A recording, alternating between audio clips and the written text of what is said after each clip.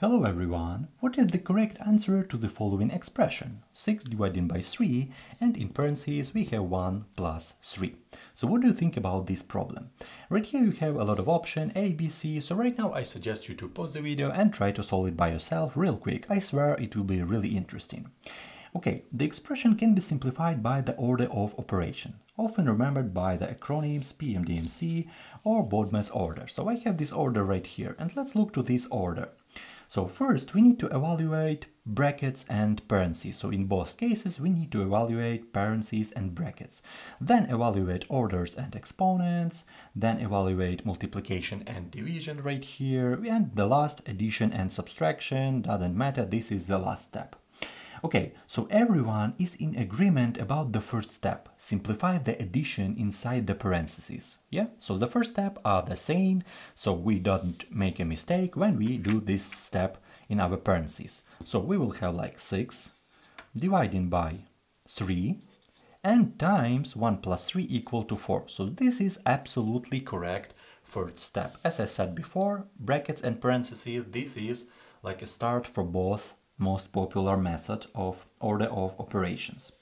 Okay, and there is where debate starts, because, for example, you solved before, like uh, 30 seconds ago, you solve it and you say, okay, the answer is 8. Yeah, for those who think is 8.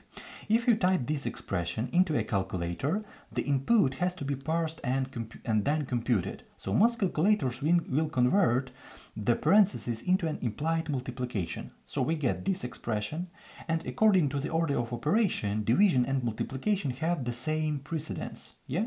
So the correct order is to evaluate from left to right. So from left to right.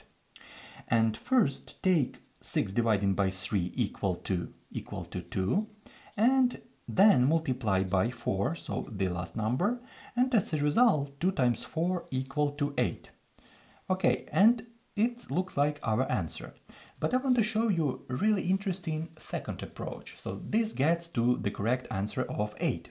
But some people have a different interpretation and while it's not the correct answer today, it would have been regarded as the correct answer 100 years ago. So some people may have learned this other interpretation more recently too, but this is not the way, the way calculators would evaluate the expression today. So for those who think that the answer is 1 half, because it looks like that if we do in a little bit different order.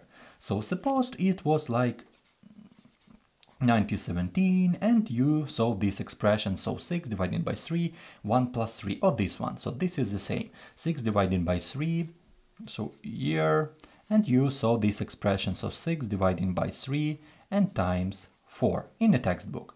What do you think about the author, author was trying to write Historically, this symbol uh, division was used uh, was used to, to mean you should divide by the entire product on the right of the thimble. So in the 1917 you need to divide by all entire product. So we need to take these in parentheses 3 times 4 and this is equal to 6 dividing by 3 times 4 equal to 12.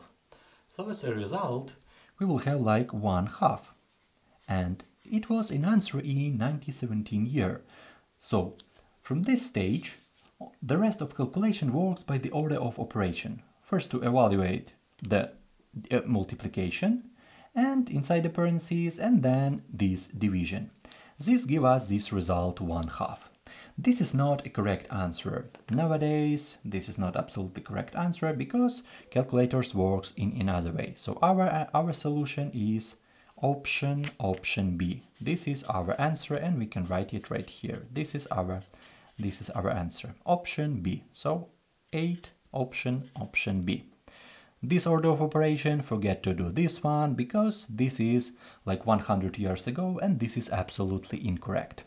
If you still have any question, if you have a really interesting information about this approach, maybe you have a really interesting question, it will be really interesting to read about it. And thank you so much for watching. See you in the next videos. Have a great day.